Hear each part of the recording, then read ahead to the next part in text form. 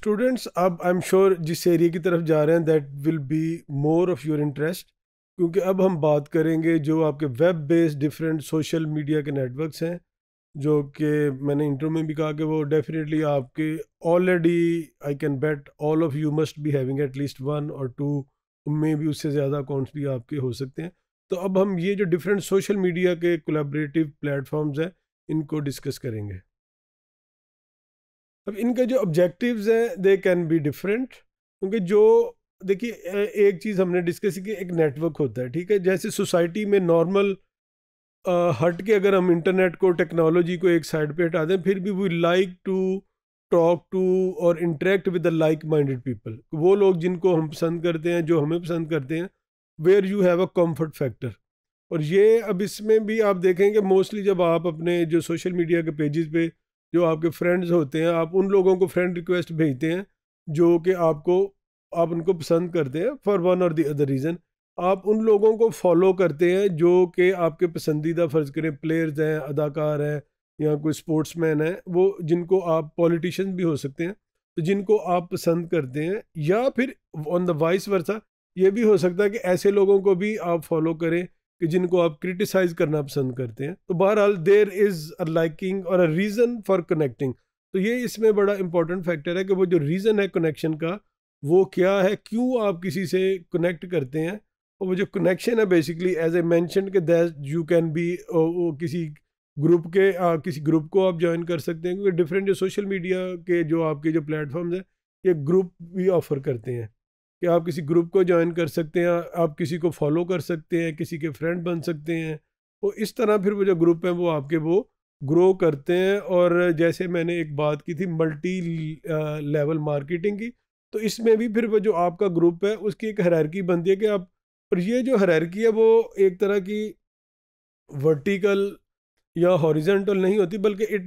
spread in all directions कि अगर आप सेंटर हैं किसी नेटवर्क का या कोई और एक बंदा सेंटर है किसी नेटवर्क का तो उसके जो फॉलोअर हैं, जो उसके फ्रेंड्स हैं, वो फिर मशरूम ग्रोथ आप उनकी समझें कि एक तरह से होती है और वो हर तरफ़ फैलते हैं। एंड दैट इज़ सो इस वजह से जो नेटवर्क हैं, बड़ी जल्दी ग्रो करते हैं। आप देखेंगे कि बहुत सारे जो आपके स्टार्स हैं सेलेब्रिटीज़ हैं, उनकी ये एक रेस होती है जी कि मेरे, फ़र्ज़ करें जी, एक लाख फॉलोअर्स हो गए, मेरे एक मिलियन फॉलोअर हैं तो ये एक तरीक़ाकार है उनका अपनी मार्केट वैल्यू का you know they are different levels of determining के किस बंदे की क्या मार्केट वैल्यू है इन टर्म्स ऑफ़ कमर्शियल और यू you नो know, जो भी आपके दूसरी कल्चरल वैल्यूज़ हैं उसके हिसाब से। हर तरह के जो भी बड़े लोग हैं जिनकी फॉलोइंग ज़्यादा है उनके फॉलोअर्स उसी तरह से लाखों में और या मिलियंस में भी होते हैं। आई एम श्योर ये सारे आप already you are aware of these कि फेसबुक है लिंकड है यूट्यूब है इंस्टाग्राम है गूगल हैंगआउट है और व्हाट्सएप है। इसके अलावा भी कुछ और लेकिन ये सबसे ज़्यादा जो मोस्टली पॉपुलर हैं, यही हैं जो कि बहुत ज़्यादा यूज़ होते हैं और वर्ल्ड ओवर है। डिफरेंट कंट्रीज़ में according to the size of the population जितनी बड़ी किसी भी कंट्री की पॉपुलेशन है, वहाँ पे उतने ही ज़्यादा आपको उसके लोग मिलेंगे, उसके फॉलोअर या उसके सब्सक्राइबर फिर कुछ इसमें जो इंटरनेशनल पॉलिटिक्स इन्वॉल्व है, कि फ़र्ज़ करें चाइना की कुछ लिमिटेशंस हैं या कोई रशिया की लिमिटेशंस हैं तो वो फिर उन लोगों ने को अपने प्लेटफॉर्म भी डेवलप कर लिए जैसे को वो व्हाट्सएप की बजाय चाइना में उनका कोई अपना है, कोई वी चैट है गालबन या कोई ना कोई और इस तरह के टूल्स जो है वो दुनिया में अवेलेबल है। और मोस्टली ये भी कि जितने टूल्स हैं they are available in multiple languages also जो सबसे ज़्यादा जो दुनिया में डोमिनेटिंग लैंग्वेजेस हैं जैसे इंग्लिश है, क्योंकि वो डिपेंड करता है ना पॉपुलेशन पे। जितनी ज़्यादा किसी की पॉपुलेशन है इंग्लिश है ऑब्वियसली फिर चाइनीज़ है, उसके बाद फिर अरेबिक है स्पेनिश है। ये चार पाँच वो लैंग्वेजेस हैं जो कि बहुत ज़्यादा बोली जाती हैं, लिखी जाती हैं, पढ़ी जाती हैं दुनिया में। तो इनकी ट्रांसलेशन इन लैंग्वेज में तो लाजमी अवेलेबल है। फिर उसके बाद बहुत सारे जो स्मॉल कंट्रीज़ हैं, जिनकी पॉपुलेशन जैसे फ़र्ज़ करें जर्मन लैंग्वेज है या इटालियन लैंग्वेज है फ्रेंच है। फ्रेंच भी might be a little bit more के ये फ्रांस के अलावा नॉर्थ अमेरिका में या कनाडा के भी कुछ कंट्रीज़ में बोली जाती हैं या जो फ्रेंच कॉलोनीज़ थी, वहाँ पे भी लोग फ्रेंच बोलते हैं या स्टडी करते हैं। बट एनी मकसद ये है कि ये जो डिफरेंट टूल्स हैं आपके, ये डिफरेंट लैंग्वेजेस में भी अवेलेबल हैं। अच्छा अब जो इसका अंडरस्टैंडिंग के लिए जो ज़रूरी है ये बताना कि जो आपकी वेबसाइट्स हैं, देखिए जो वेबसाइट भी वो एक कोलेबोरेशन टूल है, वो भी एक प्लेटफॉर्म है। पर अगर आप देखें तो दुनिया की सबसे बड़ी वेबसाइट्स हैं, फ़र्ज़ करें कमर्शियल की मैं बात करूँगा not commercial in the sense कि जैसे ई है, ठीक है अमेज़ोन है, आपकी अली बाबा है, ये वो वेबसाइट्स हैं जिस पे हज़ारों, लाखों लोग उसको यूज़ करते हैं डेली बेसिस पे। उस पर वो ट्रेडिंग भी करते हैं इंफॉर्मेशन भी शेयरिंग करते हैं। तो जो आपका इंटरनेट इट्स है क्योंकि इंटरनेट देखिए what is internet internet is basically a collection of hundred and thousands of websites तो वो पूरे का पूरा जो आपका एक एकोसिस्टम है, वो भी आपका एक सोशल नेटवर्क है राइट और जब आप डिफरेंट वेबसाइट्स पे जाकर कोई ना कोई एक्टिविटी प्रोवाइड करते हैं तो आपकी जितनी भी वो एक्टिविटी है that is being registered recorded somewhere और डाटा को फिर आप उसको भी लोग जो